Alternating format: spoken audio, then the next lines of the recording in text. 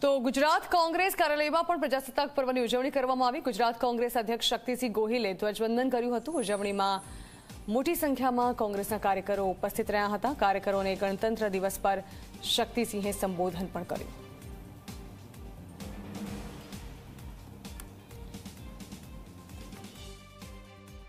છવ્વીસમી જાન્યુઆરી ગણતંત્ર દિવસ, પ્રજાસત્તાક દિવસ છે ત્યારે. તમામ મારા વહાલા ગુજરાતી સજ્જનો સન્નારીઓ, યુવા સાથીઓ, બાળકોને હૃદયપૂર્વકની શુભકામનાઓ અને ગણતંત્ર દિવસની મુબારકબાદી. આપણે ખૂબ ગૌરવપૂર્ણ રીતે કહી શકીએ કે આપણા દેશનું બંધારણ એ સર્વોત્તમ બંધારણ દુનિયાએ સ્વીકાર્યું છે.